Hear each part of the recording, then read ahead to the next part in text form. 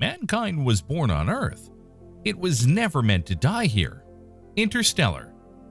This is perhaps one of the most fascinating and iconic quotes of all time. And if you think about it, it is a beautiful phrase because it's true.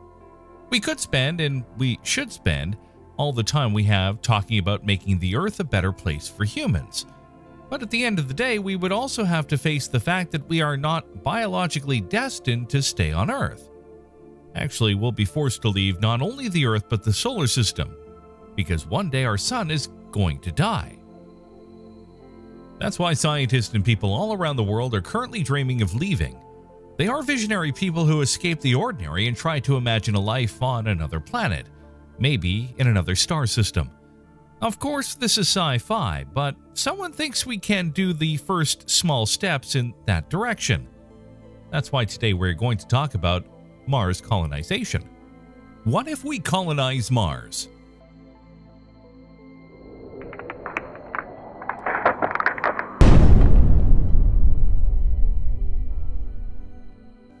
Since the 20th century, there have been several proposed human missions to Mars, but no person has set foot on the planet yet. On Mars' surface, there are currently landers and rovers that have successfully explored the planetary surface and delivered information about conditions on the ground. Why did we send rovers instead of humans? Why is it so difficult to plan and carry out a human mission to Mars? This is simple to understand. Mars is just another planet in the solar system just like Earth and it has some features that resemble our planet, but it also possesses some characteristics that make it very different from Earth. The similarities we can find are 1. The Martian day is very close in duration to Earth's day.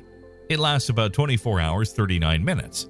2. Mars has an axial tilt of 29.19 degrees, compared to Earth's axial tilt of 23.44 degrees.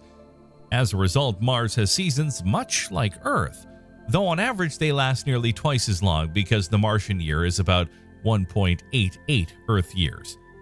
3. Observations by NASA and ESA orbiters and landers confirm the presence of water ice on Mars. But here come the differences that will help us to understand why it's so hard to prepare a human mission and send it onto Mars. 1. Mars doesn't have a magnetosphere. The magnetosphere is actually a layer that protects us, sheltering us from the solar particle events and cosmic rays that could cause harm to our bodies.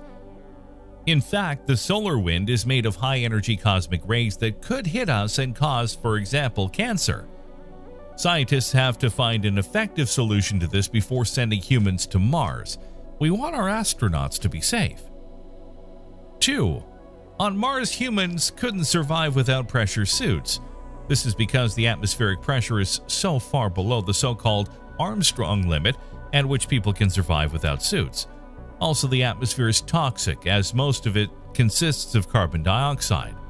This means we first have to be able to convert that kind of molecule into oxygen in order for our Mars colonists to breathe. 3.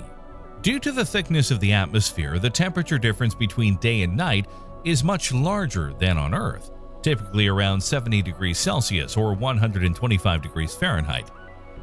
4. The Martian soil is toxic due to relatively high concentrations of chlorine and associated compounds, which are hazardous to all known forms of life.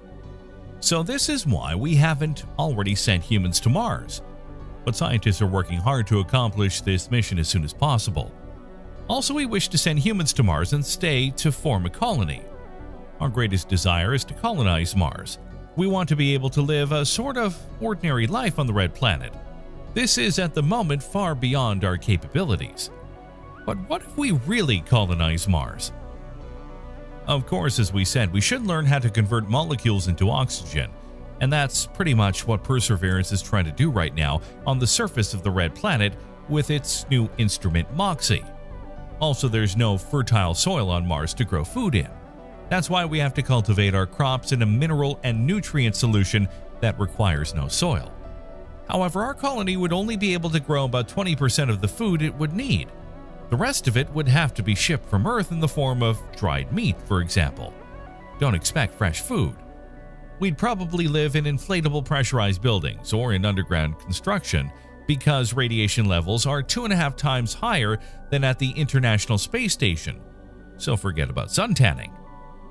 Also, here are some things that we should deal with if we ever colonize the Red Planet long term missions and establishment of a permanent group. Effects on human health. Human health is an important factor, and also Mars presents a hostile environment for human habitation. This is why different technologies have been developed to assist long term space exploration and may be adapted for habitation on Mars. The existing record for the longest consecutive spaceflight is 438 days by cosmonaut Valery Polyakov, and the most secured time in space is 878 days by Gennady Padalka. Scientists have also hypothesized that many different biological functions can be negatively affected by the environment of Mars colonies. Due to higher levels of radiation, there is a multitude of physical side effects that must be mitigated.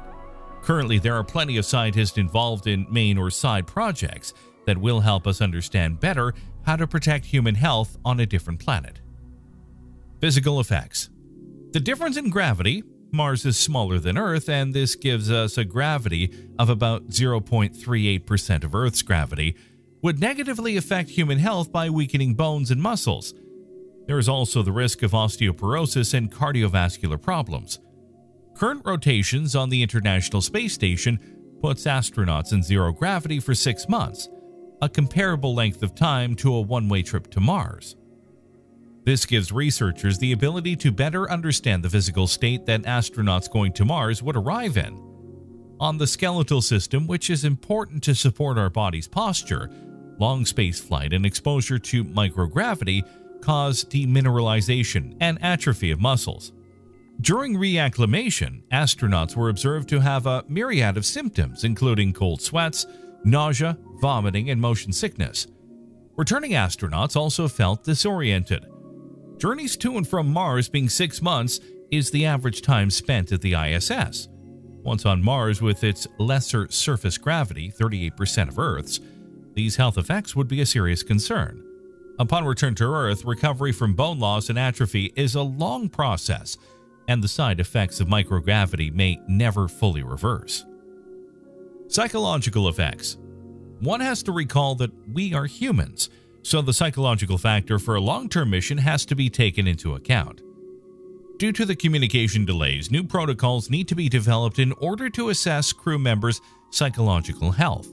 Researchers have developed a Martian simulation called HI-SEAS, Hawaii Space Exploration Analog and Simulation, that places scientists in a simulated Martian laboratory to study the psychological effects of isolation, repetitive tasks, and living in close quarters with other scientists for up to a year at a time. Computer programs are being developed to assist crews with personal and interpersonal issues in absence of direct communication with professionals on Earth. Current suggestions for Mars exploration and colonization are to select individuals who have passed psychological screenings, Psychosocial sessions for the return home are also suggested to reorient people to society. So this is pretty much what we'll have to face if we really want to colonize Mars. Do you think we should make more efforts in this direction? Let us know in the comments below. Thanks for watching everyone. If you'd like to help improve the quality of our content, please check us out on Patreon. We would like to say a big thank you to all those who show their support. See you next time on the channel.